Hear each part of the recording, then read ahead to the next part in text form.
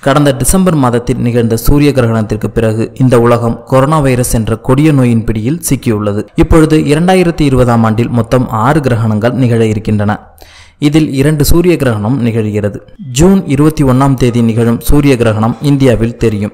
June ஐந்து முதல் ஜூலை ஐந்து வரை முப்பது நாட்களுக்குள் ஒரு சூரிய கிரகணமும் இரண்டு சந்திர கிரகணமும் நிகழ்கிறது. இது பல ஆண்டுக்கு ஒரு முறை மட்டுமே நிகழும். இந்த கிரகணங்களினால் எந்த ராசிக்காரர்களுக்கு என்ன பாதிப்பு வரும் என்று பார்க்கலாம். இதுவரை நமது சேனலை சப்ஸ்கிரைப் செய்யாதவர்கள் கீழிருக்கும் ரெட் கலர் சப்ஸ்கிரைப் பட்டனை கிளிக் செய்து சப்ஸ்கிரைப் செய்து கொள்ளவும். மேஷ ராசி. இந்த சூரிய கிரகணத்தினால் மேஷ ராசிக்காரர்களின் தைரியமும் தன்னம்பிக்கையும் அதிகரிக்கும்.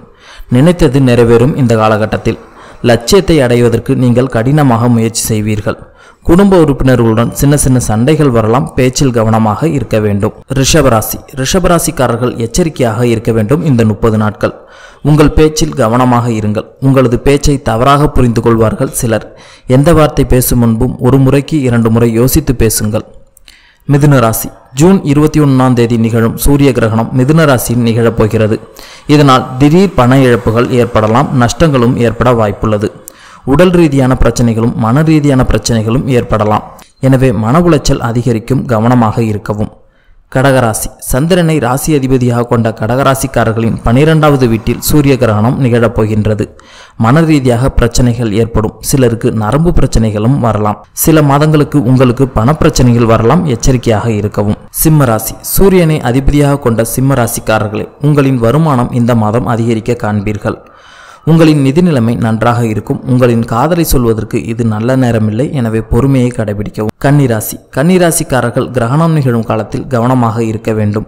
உங்களது தினசரி வேலையிலும் கவனமாக இருங்கள். தந்தை மகன் உறவில் சில சிக்கல்கள் வரலாம். எதையும் உணர்வுபூர்வமாக பேசாதீர்கள். யோசிக்காதீர்கள். ஆரோக்கியத்தில் மட்டும் அக்கறை செலுத்துங்கள். துலாம் ராசி. துலாம் ராசிக்காரர்கள் எந்த ஒப்பந்தங்களிலும் இந்த காலகட்டத்தில் கையெழுத்து போட வேண்டாம். உங்களின் நம்பிக்கையை சீர்குலைக்கும் வகையில் சில சம்பவங்கள் நடைபெறும். விருச்சிக ராசி. விருச்சிக ராசிக்காரர்கள் கவனமாக இருக்க வேண்டும். உங்கள் மீது தேவையில்லாத தவறான குற்றச்சாட்டுகளை முன்வைப்பார்கள். உங்களது நிதி நிலைமை மோசமடையும். உங்கள் குடும்பத்திற்காக நிறைய செலவு செய்ய வேண்டிய சூழ்நிலைக்கு நீங்கள் தள்ளப்படுவீர்கள். தனுசு ராசி. குருவை ராசி அதிபதியாக கொண்ட தனுசு ராசிக்காரர்களே உங்களின் உணர்ச்சி அதிகரிக்க காண்பீர்கள் இந்த முப்பது நாட்களில்.